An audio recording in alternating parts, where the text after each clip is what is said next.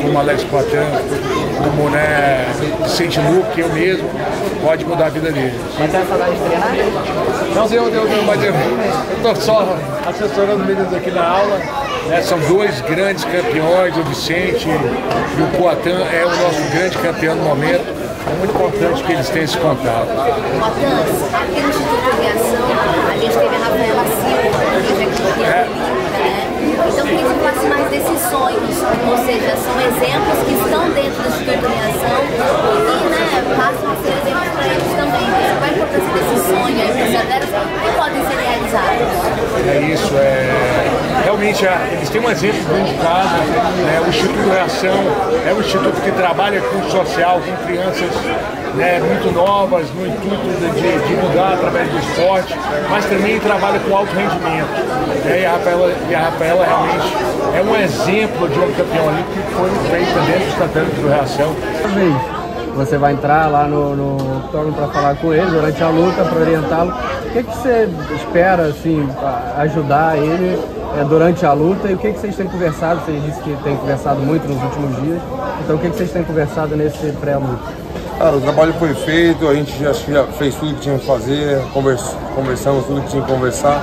A luta agora ela vai, ela vai desenrolar e no desenrolar a gente vai falar algo. Talvez eu esteja ali e eu nem abra a boca para falar nada, entendeu? Mas se precisar eu vou estar ali. É, para você, o quão importante é essa ação social que está acontecendo aqui?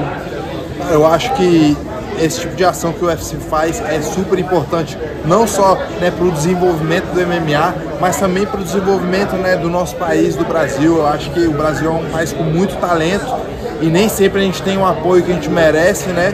É, pelo nosso esforço. Então, um evento assim como o UFC, que é o maior evento de MMA do mundo, fazer uma ação como essa, poder conectar né, a criançada que um dia quer ser lutador com caras como eu, como o Poatan, que já somos lutadores né, expoentes no Brasil, o Poatan campeão. Acho que é, é, é, o que tem que acontecer para motivar toda essa criançada que está vindo. Qual é a sua opinião dessas duas disputas de cinturão? Então, esse, esse sábado vai ser duas lutonas. Eu acho que o Glover vai se tornar campeão de novo. Acho que vai ter esse cinturão Brasil.